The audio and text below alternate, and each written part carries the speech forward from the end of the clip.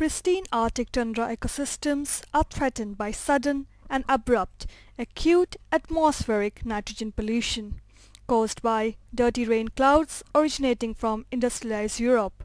It is predicted with the increase in global temperature and decrease in sea ice, such pollution events will occur frequently in the Arctic.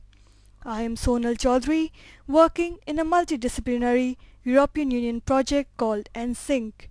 We have simulated such acute nitrogen deposition events in a plot-scale experiment in Svalbard.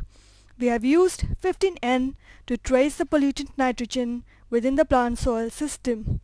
With the help of both manual and remote sense methods, my work aims to show how damaging these pollution events are to the Arctic tundra plants and whether the tundra plays an important role in mopping up the pollution and stopping it being released to the streams and rivers.